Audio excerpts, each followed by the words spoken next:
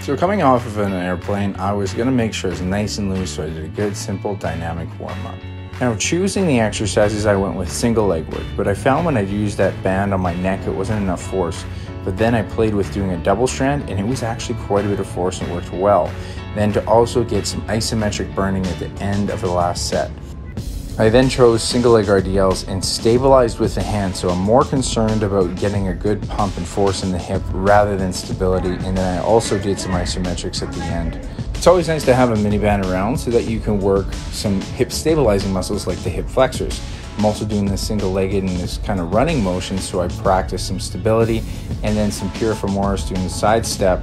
And these are muscles that commonly get forgotten. So, this is a great minimal equipment exercise that you can add when you're on the road and you get a really nice burn to feel a good workout.